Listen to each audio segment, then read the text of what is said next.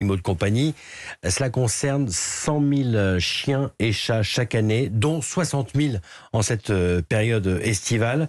Et cela pourrait être plus cette année à cause des adoptions lors, de, lors du confinement, justement. Oui, c'est quelque chose qui est très peu su dans notre pays. Mais malheureusement, la France est championne du monde, ou presque, de l'abandon des animaux de compagnie, des chiens et des chats.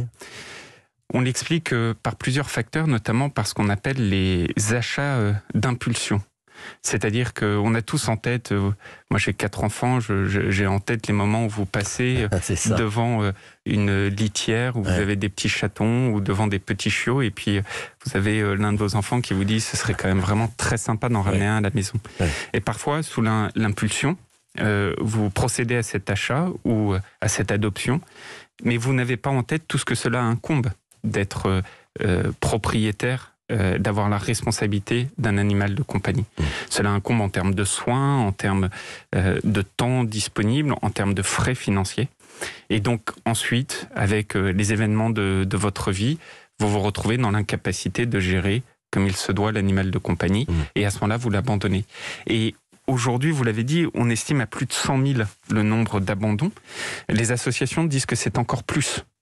Et ce qui est vrai, c'est que ces abandons, on les voit beaucoup pendant l'été. Notamment, et c'est très intéressant d'en discuter avec eux, les sociétés d'autoroute sont des témoins d'abandon d'animaux de compagnie sur les aires d'autoroute. Et donc, on lance aujourd'hui un grand plan de sensibilisation pour lutter contre ces abandons, en rappelant d'abord que l'abandon est probablement le premier acte de maltraitance. Il est d'ailleurs très fortement puni par la loi, très fortement. Et puis en disant aussi, et de manière très forte, qu'un animal de compagnie, ce n'est pas un jouet, pas un consommable. Euh, c'est euh, un être dont vous devez prendre soin euh, dès lors que vous en avez la, responsabilité. Mmh. Et donc, cette campagne de communication, on la déploie sur les réseaux sociaux, sur les aires d'autoroute, à votre antenne grâce à votre invitation. Et ça, je crois que c'est très important. Eh bien, ça passe par d'abord des initiatives, des, des dynamiques concrètes pour euh, informer et sensibiliser, parce qu'encore une fois, c'est très peu connu. Mm. Deuxièmement, ça passe par euh, des mesures euh, législatives que nous prenons.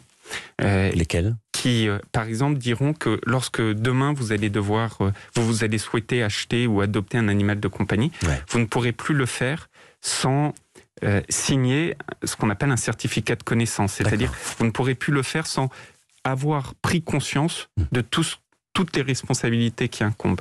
Ça passe aussi par une bien meilleure régulation des ventes sur Internet ou dans les animaleries. Songez que sur Internet, parfois on se rend compte que les animaux de compagnie sont vendus dans les catégories jouets.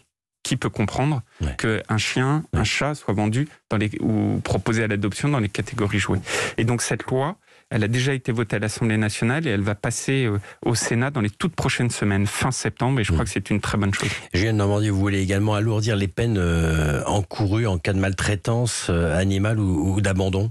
Exactement, ce même projet de loi que j'évoquais va alourdir les peines. Je crois que c'est très important parce que le fait de montrer que l'abandon est une maltraitance, et probablement la première des maltraitances, et puni par la loi, fait aussi prendre conscience de la gravité de, de son geste.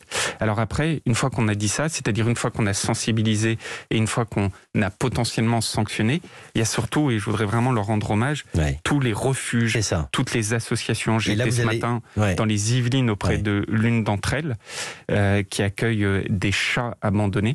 Elles font un boulot formidable et on a décidé de les soutenir euh, fortement. Les soutenir, ça veut dire quoi? Mieux les accompagner, les aider, être présent auprès, auprès de ces refuges? Ça veut dire d'abord investir parce que c'est souvent des, associations qui euh, vivent euh, des donations des uns et des autres. Euh, et c'est vrai que l'État n'était pas suffisamment, je trouve, à leur côté. Et donc j'ai décidé, dans le cadre du plan de relance, d'investir à leur côté plus de 15 millions d'euros pour rénover, agrandir, mieux accompagner ces refuges dans l'accueil des animaux de compagnie qu'ils reçoivent. Et puis deuxièmement, c'est aussi les accompagner dans par exemple, quelque chose de très important qui sont les campagnes de stérilisation. Mmh. On sait aujourd'hui que c'est, euh, par exemple, un, sujet d'ampleur pour euh, les chats errants ou les chats abandonnés que de pouvoir euh, les stériliser. Et ça coûte parfois très cher. Mmh. Les associations, les collectivités locales sont pleinement engagées dessus. Eh bien, c'est normal que l'État soit à leur côté. Donc, on va en tout investir 20 millions d'euros aux côtés de ces acteurs pour pouvoir les accompagner dans l'accueil et dans les soins donnés à ces animaux pour que euh, demain on puisse plus facilement accueillir lorsque on retrouve des animaux abandonnés.